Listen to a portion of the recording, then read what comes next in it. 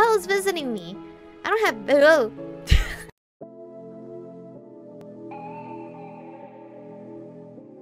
We're born in the moonlight.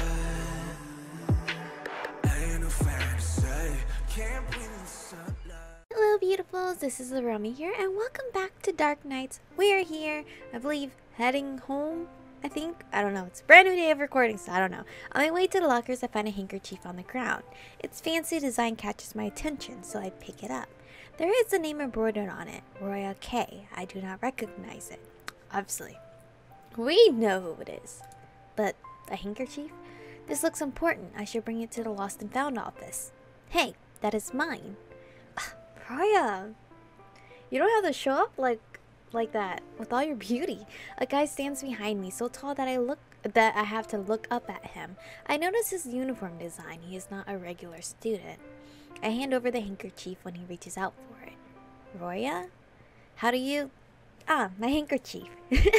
Thank you for returning this, Miss Michiko. How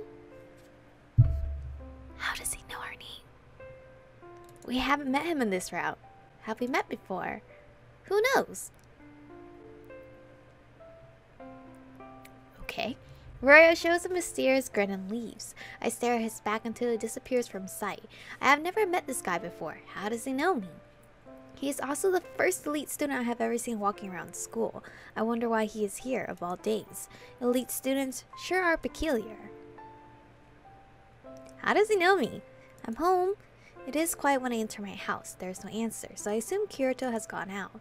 I drop my bag and decide to head for the kitchen to prepare tea. It's always it always calms me down after a long day. I pass by the living room and freeze, hearing soft breathing coming from the couch. Oh, he's so tired. Upon stepping closer, I notice that Kurato is laying there, or lying there, his sleeping face looking peaceful. He must have worked hard today. I should let him be. At least we got a CG art. When I return, Kurato is already sitting up reading. He looks up from his newspaper. He woke up so quickly. Did I disturb you? No, I had a good nap. I just made tea. Let me get you some. Kurato smiles appreciatively when I hand him a cup. I sit next to him and glance at what he is reading. It occurs to me that there are things about him I have yet have to confirm. It was written on his badge that he attends the same school as me. Say, Kurato, do you really never attend class? What class are you in? Normally, you'd get a penalty for being absent.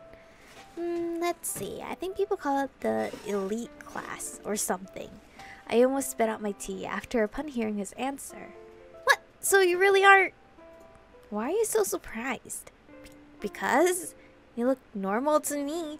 What do you mean? His outfit isn't like the clothes that me or Ikuya, Ikuya, right? Or Ryoji wears. It's different. Was that supposed to be a compliment? I thought all the elite students were supposed to be peculiar, although nothing's really normal these days. I'm curious, I hardly ever seen, see them at school, and I'd rather hear what they're like from you than the rumors. I don't know, I haven't met eh, I haven't met everyone yet. Most of them were absent from the first day. If everyone else is skipping class, so why wouldn't I? You don't even know your own classmates? I just said it's not that I don't believe you, I just find it a bit strange. I guess they have their reasons. Hmm, I do remember someone. There's this one guy named Chain. He's an investigator like me, so I've seen him around. So he's Chain's an investigator. Do you guys get along? Sorta, but we're more like rivals. He's kind of reserved, doesn't talk a lot. You can say we're opposites, personality wise. You'll get it if you meet him. Psh, I bet he's a taunt just like a Tron, sorry. just like you. Speaking of your classmates, do you know a guy named Roya?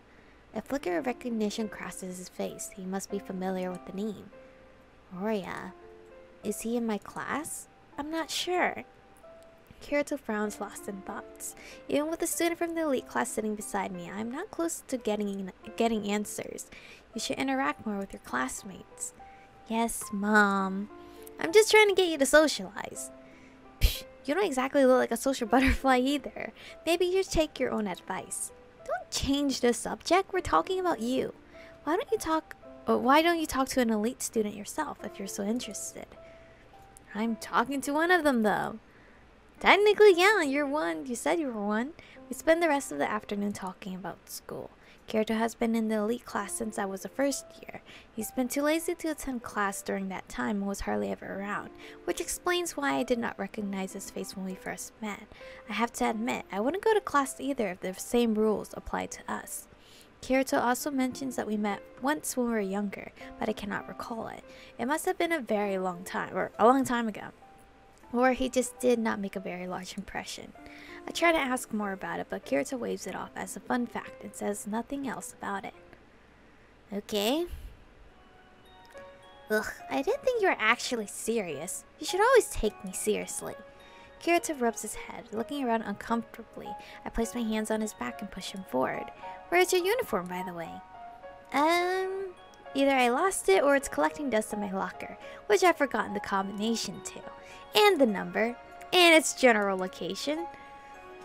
What kind of investigator is this? I look at him with narrowed eyes. I question how he even got accepted into such an exclusive class. Same. Their image totally does not fit Kurato. Maybe I had a wrong idea about elite students in general. I'll walk Kurato to his classroom, since he cannot remember where that is either. It feels like I'm showing a transfer student around. After we take a turn in the hallway, I accidentally bump into someone. I stumble, but Kurato catches me before I hit the ground. Hey Chain, it's rare to see you here in school. He is so, like, his vibes makes me feel like I can't approach him. Like, it's not approachable. Like, his his just his aura. Makes sense if you barely show up. Rubbing my head, I glance up to face the tall person in front of me. His light blue eyes look down into mine. His cold stare gives me the chills, yet his gas mask is strange enough to draw my attention away from his eyes.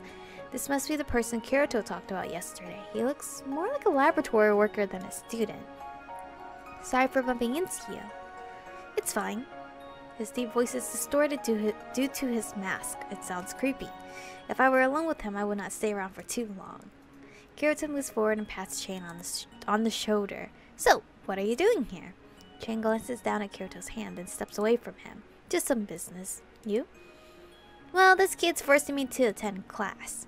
At the comment, I puff out my cheeks and glare at Kurato. He had said it in a joking tone, but Chain just keeps quiet, not finding it funny. There is not much for you to do here, though. The target has escaped. Target? Kurato just nods in response, his expression, expression, express, his expressing unchanging.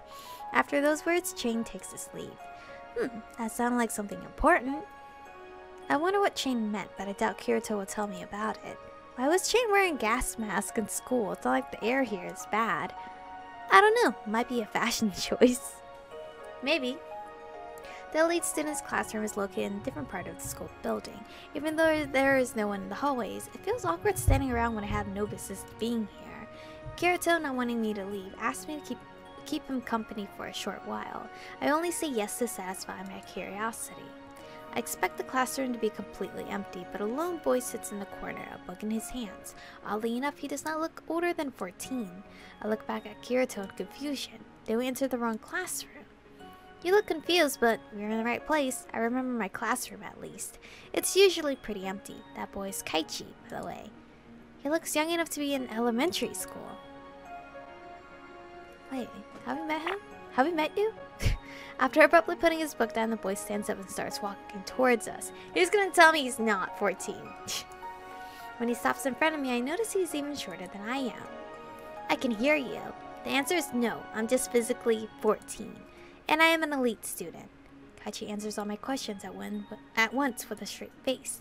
Even Kurato remains speechless. Then how old are you? Don't gossip about your seniors. Whoa, you're a senior?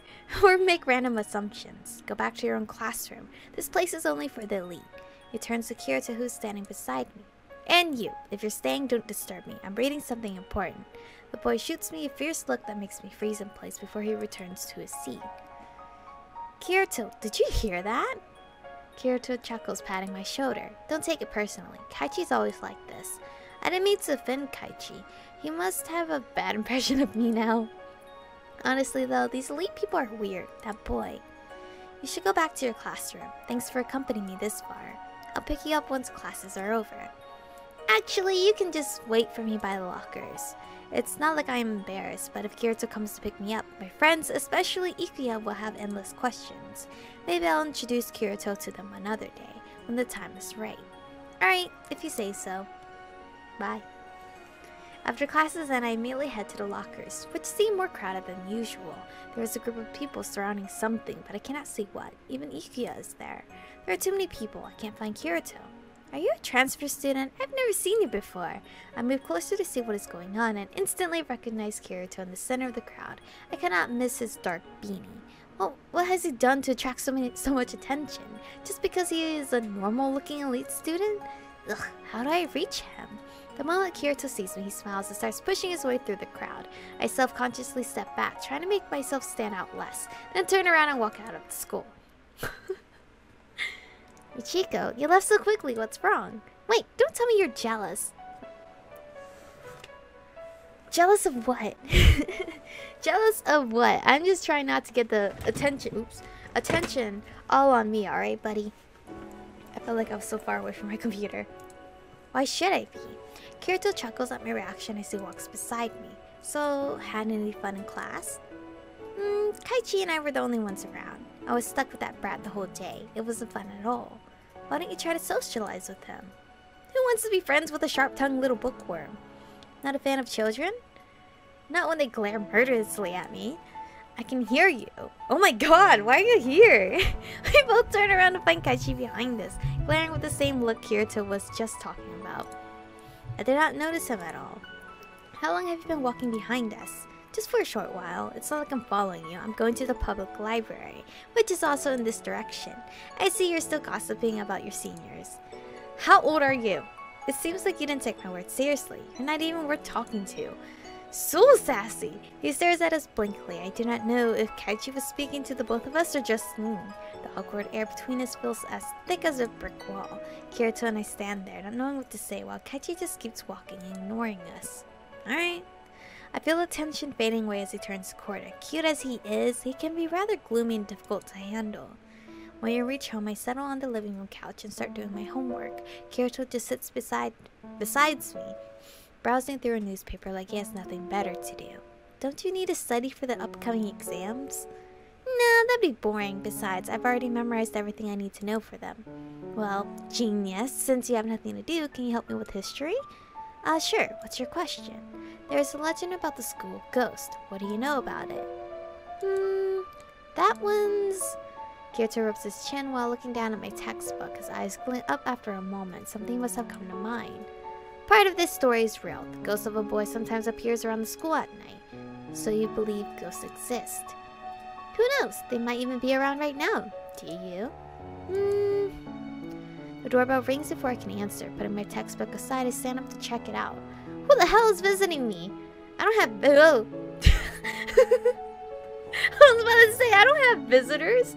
I open the door to see Chain standing outside. That honestly is scary. His unusual appearance startling me a bit. Um, can I help you? I'm looking for Kurato. Hey bro, how did you know I was here? The man in question suddenly appears behind me, a cheeky grin on his face. Chain crosses his arms and raises an eyebrow, as though to say the answer should be obvious. Chain pointedly looks at me, drawing Kurato's gaze. Michiko, mind giving us a sec? We're gonna talk about confidential work. Saying no is not really an option, so I leave them be. However, I cannot let this chance to eavesdrop slide, so after closing the door, I hang back around the corner. Leaning against the wall, I can vaguely make out their conversation. Why didn't I just go, like, pretend to go upstairs, but then not really, and I'm there. Don't let your guard down. Something big might happen soon. Things are going according to the schedule then. Thanks for the warning. So how's the target? Can't find him. Nah, he must be pretty skilled to escape from you. You should be cautious. I didn't expect them to show up at school. I should patrol that area too. Whatever you want. By the way, there's something I want you to do for me. I go silent for a moment. Kurato starts whispering, but I'm too far to freaking hear it. Clearly, I try to move a little closer, but then he speaks up again. The murderer is always slipping past us. I'm starting to think there might be more of them. It's been so easy for them too. It's like they're always one step ahead of us. Do you think one of our own is involved? Kurato's words are intriguing. A mole within the investigators. Investigators. If that is the case, then who can be trusted? I hear nothing except Chain's deep sigh, the sound a bit a, a bit creepy through his gas mask. Even if it's one of our own, I won't hesitate. I know you won't. You never stray from your goals. I wish I had your resolve. Okay. Just then I hear the door opening. Chain must be leaving. I quickly head for the couch, grabbing my textbook and pretending to write something down. And this is where I'm going to stop for today's episode because I think it's a good stopping point. But anyway, are they are they talking about Roya? I feel like they're talking about Roya. That Roya is on the bad side, and he keeps slipping away.